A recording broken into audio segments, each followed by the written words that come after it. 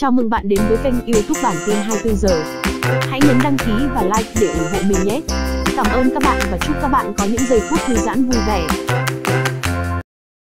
Bị đuổi khỏi sân đầy cay đắng, huấn luyện viên Barcelona nổi trận lôi đình. Huấn luyện viên Eman của Barcelona đã thực sự nổi điên sau khi bị truất quyền chỉ đạo trong trận đấu với Cazi ở đêm qua.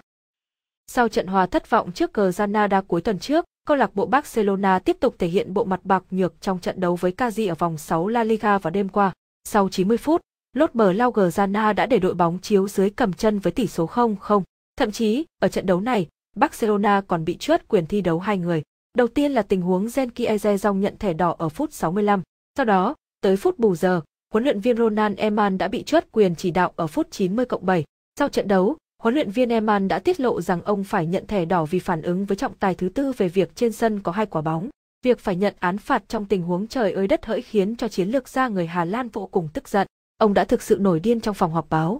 Huấn luyện viên trưởng của Barcelona buông giọng mỉa mai, ở đất nước này, họ có quyền đổi bạn mà chẳng cần lý do gì cả. Họ chốt quyền chỉ đạo của tôi chỉ vì phàn nàn rằng có hai trái bóng trên sân và yêu cầu trận đấu dừng lại. Mọi thứ chỉ có thế thôi. Tôi đã phản ánh vấn đề này với trọng tài và bị đuổi. Tôi hỏi vì sao nhận thẻ đỏ, ông ta luôn miệng nói, vì thái độ, vì thái độ. Trong khi đó, nói về trận hòa bạc nhược trước Kazi, huấn luyện viên Eman cho biết, chúng ta không nên nhìn vào kết quả trận đấu mà còn phải nhìn vào thái độ và lối chơi của câu lạc bộ nữa. Tôi không có gì phàn nàn về thái độ thi đấu của các cầu thủ hôm nay, tôi chỉ không hài lòng khi chúng tôi có tới 4,5 cơ hội nhưng không thể ghi bàn. Keza Pique cũng không hài lòng với việc Barca liên tục gây thất vọng. Anh cho biết, tôi khoác áo Barcelona không phải xếp thứ hai hay thứ ba, tôi muốn chiến thắng và giành những danh hiệu. Chúng tôi đã có nhiều cầu thủ chấn thương và buộc phải chấp nhận điều đó. Câu lạc bộ sẽ trở lại để cạnh tranh danh hiệu. Cũng trong trận đấu này, đội bóng xứ Catalan cũng không hài lòng với tấm thẻ đỏ của Genkie Zezong. Cầu thủ người Hà Lan phải rời sân vì hai tấm thẻ vàng trong vòng 4 phút. Điều đáng nói, ở tình huống nhận thẻ thứ hai, ngôi sao này đã đá trúng bóng và chủ động thu chân hết cỡ khi tranh chấp với cầu thủ Afonso Epino của Kazi. Tuy nhiên, anh vẫn phải nhận án phạt.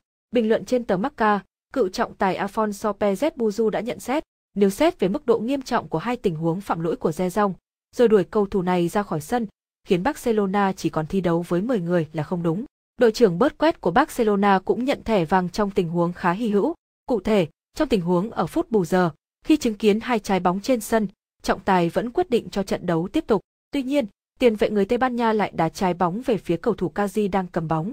Chỉ ít giây sau, Kazi đã ghi bàn vào lưới Barcelona nhưng trọng tài không công nhận vì cắt coi từ tình huống bớt quét chủ động đá bóng. Sau đó, ông đã phạt cầu thủ của Lốt Bờ gờ ra na thẻ vàng vì phá hỏng trận đấu. Sau trận hòa trước Kazi, Barcelona xếp thứ 7 ở La Liga với 9 điểm sau 5 trận đấu, thắng 2, hòa 3. Họ đang kém đội đầu bảng Real Madrid 7 điểm nhưng thi đấu ít hơn một trận. Hát Long